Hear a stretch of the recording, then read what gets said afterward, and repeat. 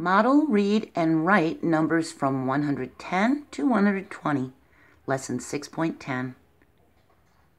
We can model, read, and write numbers that start at 110 and go on to 120. Here we have 10 tens and one more 10. That means we have 11 tens. That's equal to 110. We can look at our chart. Here's 110 the next number is 111, then 112, 113, 114, 115, 116, 117, 118, 119, 120. 110 is 11 tens. We know that 100 is 10 tens. That's 11 tens. 120 is 12 tens. When we have 10 tens and two more tens, we have 12 tens. That equals 120. Look at all the stars, all the colorful stars. How many stars are there? What we can do is we can count the stars by making groups of tens. Then we count the groups of tens, and then we count on how many more are left over. So let's find a group of 10. 1, 2, 3, 4, 5, 6, 7, 8, 9, 10. 11. So we need to stop here. We can circle the orange stars, but we have to stop at this one, okay? So that's 110. 1, 2, 3, 4, 5, 6, 7, 8, 9, 10. So we have to stop at this one again because there's 11. So we need only 10, so we're going to stop it right there, okay? So if these are in nice, neat columns and rows going across, what we can do is we can say, you know what? All of these are the 10s where the 10s stop. So that means for this column, that would be where the 10s stop. And same with this one and this one. These are where all the 10s are stopping, aren't they? We can finish the groupings. And we can count them again to be sure that each group has 10. But if they're in neat columns and rows going across like that, we know from looking at it that there must only be 10 in our group. So we're going to finish circling all of these tens. We made groups of tens, and we have some left over. We have one, two, three, four, five, six, seven left over. That's not enough to make another group of 10. So how many groups of 10 do we have? One, two, three, four, five, six, seven, eight, nine, ten. We have 10 tens. Remember, 10 tens is equal to 100. So all of these in the groups are 100. Then we have 101, 102, 103, 104, 105, 106, 107. There are 107 stars. There's 10 tens and 7 left over. 107. We counted the stars by making groups of tens. We counted the groups of tens, and then we counted on how many more. We can model the number and we can write the number. Here we have 11 tens and one more. We have 1, 2, 3, 4, 5, 6, 7, 8, 9, 10, 11 tens, and one little tiny one more. 11 tens and one more would be 11 tens and one more. It would be 111. And we know that we can squeeze these together.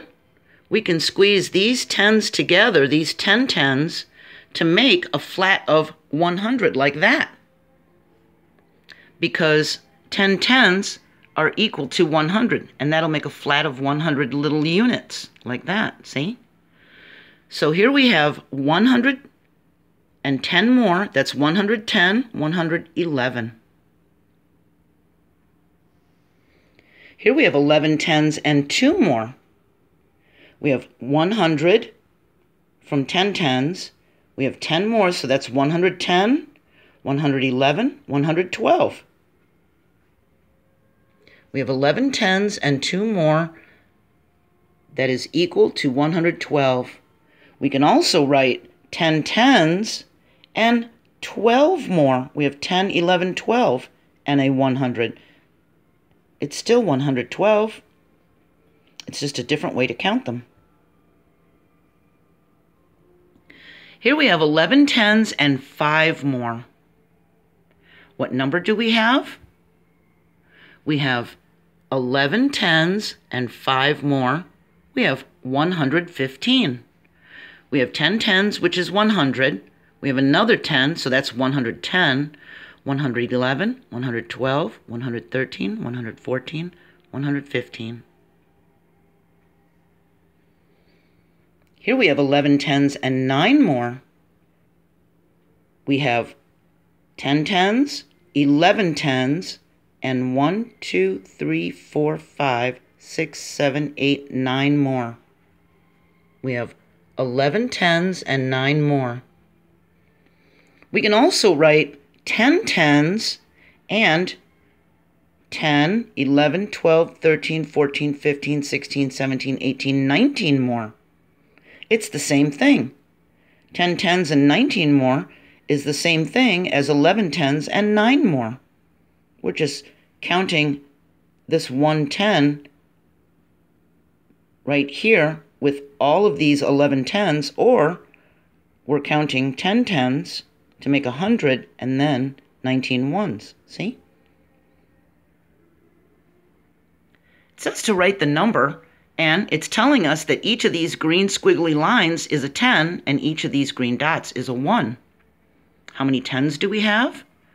1, 2, 3, 4, 5, 6, 7, 8, 9, 10, 11 10s. And six ones. What number does that make? We can write the 11 tens and six ones, 116.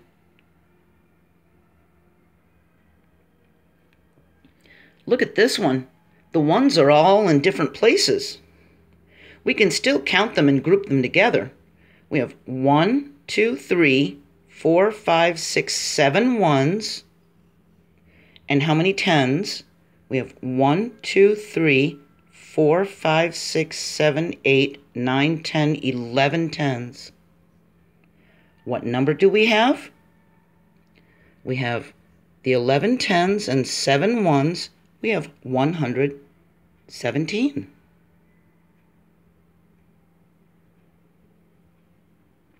Choose a way to solve, draw, or write to explain. Tala collects stamps. She can make 11 groups of 10 stamps. How many stamps does Tala have?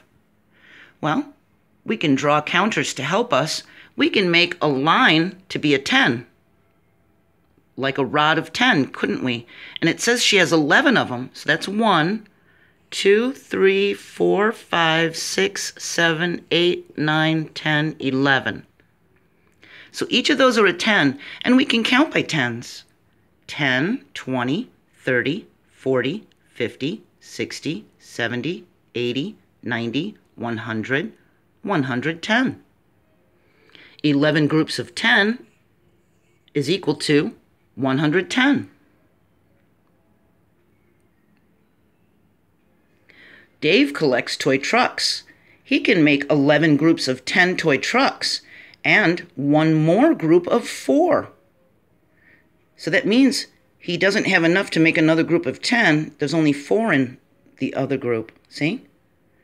So we can make 11 groups of 10, again, like we did here, but we know from this problem that 11 groups of 10 is equal to 110, don't we? But we could still do it. We could say that each one of these is a 10, and he has 11 of them. 1, 2, 3, 4, 5, 6, 7, 8, 9, 10, 11. Then he has a group that has only four in it. 1, 2, 3, four. That's how many toy trucks he has. We can count by tens 10, 20, 30, 40, 50, 60, 70, 80, 90, 100, 110, 111, 112, 113, 114. 11 groups of 10 and 4 more is equal to 114. Emma has many books. She can make 11 groups of 10 books and has 9 books left over. How many books does Emma have? Well, we now know that 11 groups of 10 is 110, isn't it? It also says she has 9 books left over. We can add these together. 9 plus 0 is still a 9, and we would just drop the 11 down. 119. We could also make rods of 10 and have nine ones and count them. She has 119 books. That's a lot of books, isn't it? She likes to read. So in the last video, we learned about the numbers from 100 to 110. We know that 10 tens is equal to 100, and 101 is 10 tens and one more. And 102 is 10 tens and two more, two ones. And as we count down, we can see the ones are going up by one number. See? 3, 4, 5, 6, 7, 8, 9. When we get to 110, that's equal to 11 tens. So for this video, we learned 110 to 120. And we know that the 110 is 11 tens, right? We know that 111 is 11 tens and one more. 112 is 11 tens and two more, two ones. And it continues down with the ones place getting bigger by one number, see? Until we get to 120, and that's equal to 12 tens. So can you count by tens? Our next lesson is going to be about greater than. That's this symbol. Kind of looks like a mouth, doesn't it? We'll talk about that. That's lesson 7.1. So practice counting by tens. See how high you can go. You can bounce a ball back and forth with a friend or a brother or sister, counting by tens and taking turns. You could jump rope and count by tens. I hope you have a great day. I hope you're doing well, and I'll see you next time. Bye.